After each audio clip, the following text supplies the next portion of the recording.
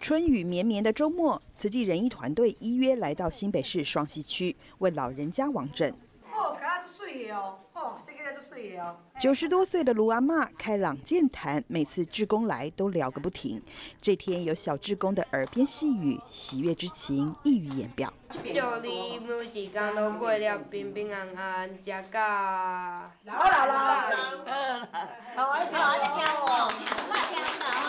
我们去陪他们，让他们可以比较安心一点，在这个世界上可以留下更多的回忆。年轻人的关怀为仁医这趟王整形注入很多活力。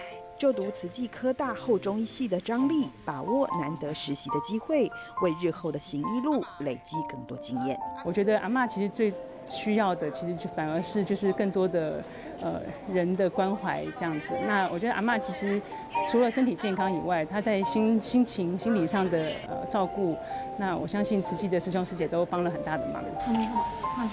除了年轻人，还有慈少班的家长，在帮忙阿妈剪指甲的过程中体悟深刻。在帮阿妈剪指甲的时候，就很像在帮我自己的阿妈一样，因为我阿妈也九十一岁，对。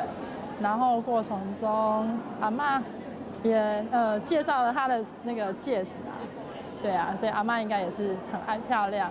然后帮她剪完，问她，她说满不满意？阿妈就说满意。我自己在学校工作，那我也希望说，我这个今天参与的这些活动，我会回去分享给我身边的人，让他们知道说，其实还是有一些需要关怀的老人。那在平时的时候，我们也可以去多关心一些。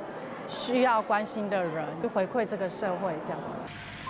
仁医偏乡服务，恒持出发心，让爱成为平病长辈的最佳良药，也是最强依靠。大爱新闻，真善美志工台北报道。